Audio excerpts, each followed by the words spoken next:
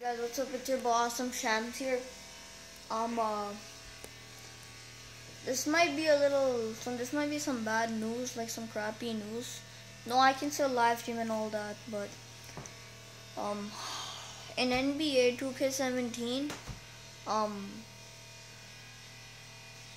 like, I'm not really gonna be doing park anymore, my park live streams.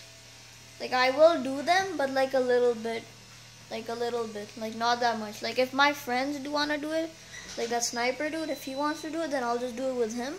But or else then I won't do it, cause I'm sorry, cause it just I just can't deal with this what they're doing with me right now, man. Like I just can't, man. It's not right, 2K. You really need to stop, bro.